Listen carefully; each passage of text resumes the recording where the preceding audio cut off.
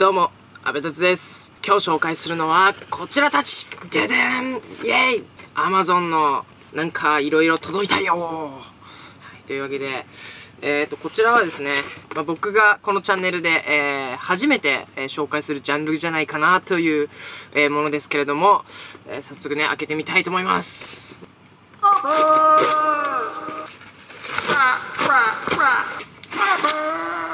シャキーンさあというわけで今回紹介するのはこちら。ででバイオハザード 5!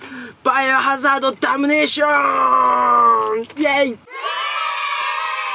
というわけで今回紹介するのは DVD 映画でございます、えーこちらバイオハザード。こ2作品なんですけれどもこっちはねもう多分知ってる人は知ってるもうバイオハザードシリーズです。こっちはですねあの CG アニメーションの映画なんですけれどもこれ実は第2作目です。知らない方もいらっしゃるんじゃないですかね。でなんで僕これを買ったかっていうともう大の大の大の大のバイオハザード好きでゲームから始まって映画に至るんですけれどももう好きすぎてこちら全部バイオハザードです。これも最新作これがまあ最新作の映画でこれがもう過去に、えー放送されたね 放送とか放映された映画なんですけどもまずこれ第1作目。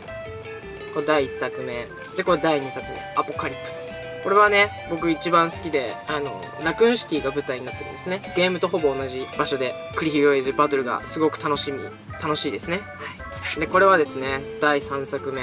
これはですねあの今日これはいろんな人が死んじゃうっていう悲しい悲しいやつなんでちょっと残念です。でこれ4作目。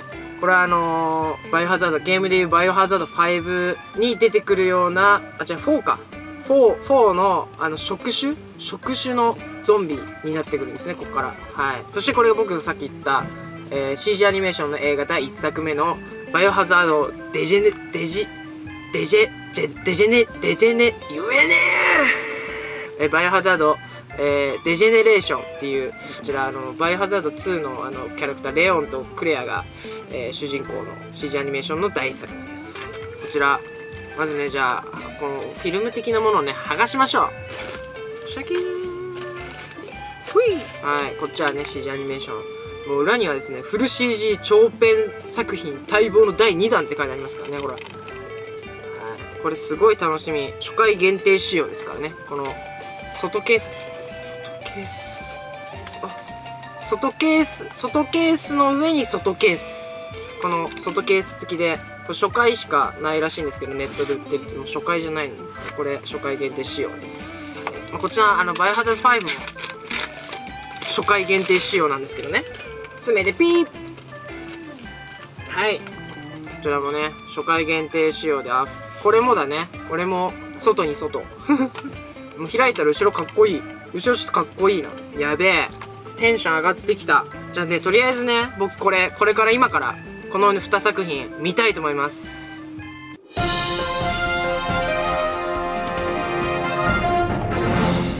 はい、えーこの2作品えーはさっき見たんですけれども。いやすごかった。すごかった。何がすごいってねまずこっち。あのこっちなんですけどもこっちのあの実写の映画の方ではですねあのレオンは今まで出てきてなかったんですね。で今回これレオンがこの実写映画の方で出てくるというえーちょっと待望の内容だったんですね。で面白かったんですけどちょっとなんかそのレオンのキャラクターがなんかクールなんだけどなんかなんかちょっと違うようなみたいな。やっぱちょっとゲームのキャラクター像がちょっと強すぎてイメージが強すぎてちょっと実写だとちょっとうんって感じでしたね。内容はですね前回のお話の後でこうジル・バレンタインがねあのここになんかつけて操られてるんですよ。変なやつに。でそういそいつと戦ってる最中に爆撃を食らって捕まって海の底海の中の施設研究所施設みたいなところに捕らえられてそこから脱出するっていう、えー内容だったんですけれどもまあね東京が出てきたんですよ。リアルすぎる。東京がリアルすぎる。そうそしてその東京のえー、と場面が出てきたってことは日本人が当然出てきますよね。そう日本人にですねあの歌手の中島美嘉さんがこの作品には出てるんです。ゾンビとして。実はですねあのこの「バイオハザード5」4これ5か。4の一番最初のシーンでも実は出てきてるんですね。これもう見てる人見続けてる人にしかわからないやつなんですけども僕はこれはバイオ2の方が好きかな。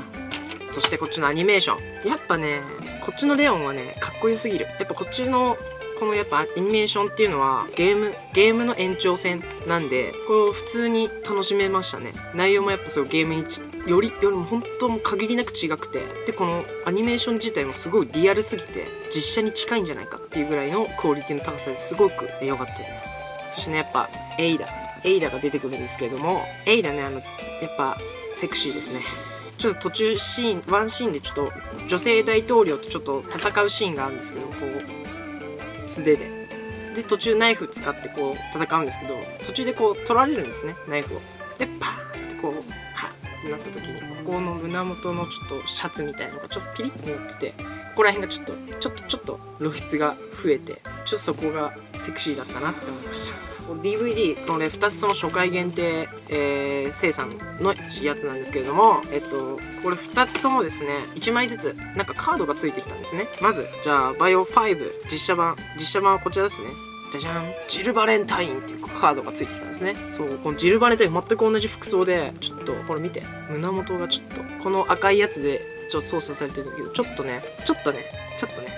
この辺がねふってなってるね。ふってこれ何なんすかね？みんなとバイハザードクランマスター限定キャラクターゲットしよう。これ何なんすかね？なんかネットなんかグリーかなんかっすか？モバゲー？モバゲー？モバゲーのやつっすかね？キラキラレアカードです。そしてもう一個、えーと、デジェネレーションは、えー、こちらタイラント。タイラントこれ。あの終盤最後の方に出てくる、えーと、一番凶暴なクリーチャーなんですけれどもこれあの実際のゲームのバイオ2の方でも出てくるキャラクターなんですけれどももうねそのゲームのキャラクターよりもね3倍ぐらいでかかった。超でかかった、うんね、こちらのカードがついてくるという仕様でした、はい、というわけで以上こちらのバイオハザードを見てみましたでした。バイバイ。こ